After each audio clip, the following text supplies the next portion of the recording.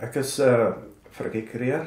Uh ek boer saam met my seun Philip hier in die Boshoff distrik in die Wes-Vrystaat. Ehm um, ons is meer uh in die marginale dele. Uh ons is net veeboere. Ons het nie ander vertakkings nie. So die uh veeboerdery en uit die aard van die saak ons Maras lê baie naby aan my hart en ek met my uh inkomste, my toekoms daaruit verdien. So dit is waarmee ons boer. Deur die jare het ek besef dat ehm uh, ek moet so effektief as moontlik boer.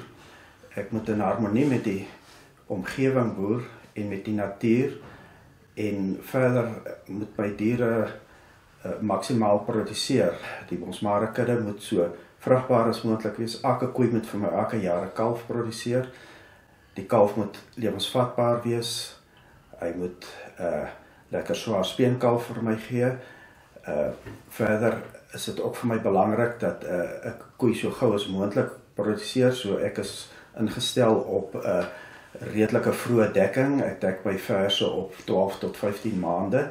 Uh so dit is 'n uitdaging, maar met die regte bestuur uh kry ek dit al vir baie jare reg. Bulle omdat ek 'n stoetteler is, voorsien ek aan aan aan sowel as die stoet as die kommersiële uh uh teelers uh materiaal. Met ander woorde, ek wil graag aan hulle ook 'n bil of 'n vroulike dier gee wat aan hierdie vereistes voldoen, wat vrugbaar is, wat aanpasbaar is en wat vir hom weer 'n goeie wins kan lewer.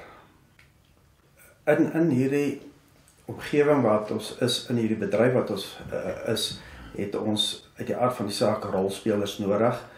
Uh hier kan mense nou aan twee rolspelers dink in die, aan die aan die in die stoetbedryf.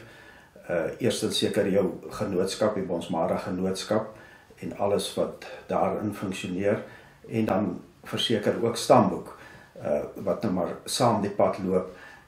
Ja, dan is is daar maar gedurig 'n uh, 'n uh, wisselwerking tussen die stoetboer en stamboek en die genootskap uh met met met uh dat dat ons integriteit in ons data het, dat die data wat ons aanbied aan die kommersiële teeler dat dit nie onder enigstens onder verdenking is nie en en uh ek dink ons het al, al 'n ver pad gevorder daarmee. Ek is uh baie positief oor die uh vleisbedryf uit die aard van die saak die ons maar bedryf maar die maar die hele vleisbedryf in geheel. Ons weet dat dit baie vinnig ook kan verander. Maar ek dink ons is besig in die vleisbedryf met 'n volhoubare produk ons verskaf uh, oorstaande proteïene aan aan aan aan die bevolking, aan die mense uh wat wat wat baie nodig is.